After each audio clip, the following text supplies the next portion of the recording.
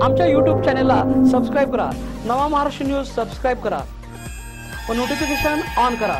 Notification on केल्याने आमचे update आपल्यापर्यंत सतत पोहोचत राहील.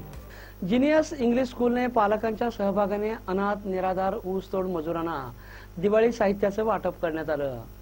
पेठ वडगाव येथील जिनियस इंग्लिश स्कूलचे प्राचार्य महेश पोळ यांनी दिवाळी सणानिमित्त एक घास भुकेलेल्यांच्या मुखात या आवाहनानुसार स्कूलचे पालक शिक्षक शिक्षकेतर कर्मचारी यांनी विविध वस्तू जमा केल्या आणि त्या अनाथ निराधार ऊसतोड मजुरांना वाटप करून त्यांची दिवाळी गोड केली.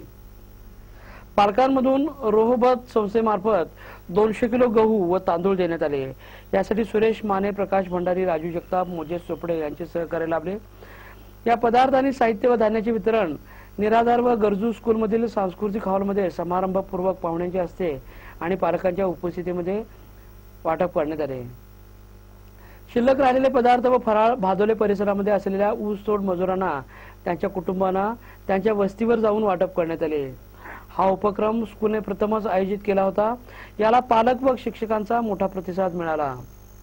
यावेळी पुंडलिक पोळ अध्यक्षा विद्या पोळ प्राचार्य अपर्णा पोळ माने अविनाश किल्लेदार वासिम वठारे सैफ गंजेले प्रदीप माळी सचिन पाटील किरण थोरात राजू जगताप आदी उपस्थित होते. कपिल धनवडे यांनी आभार मानले.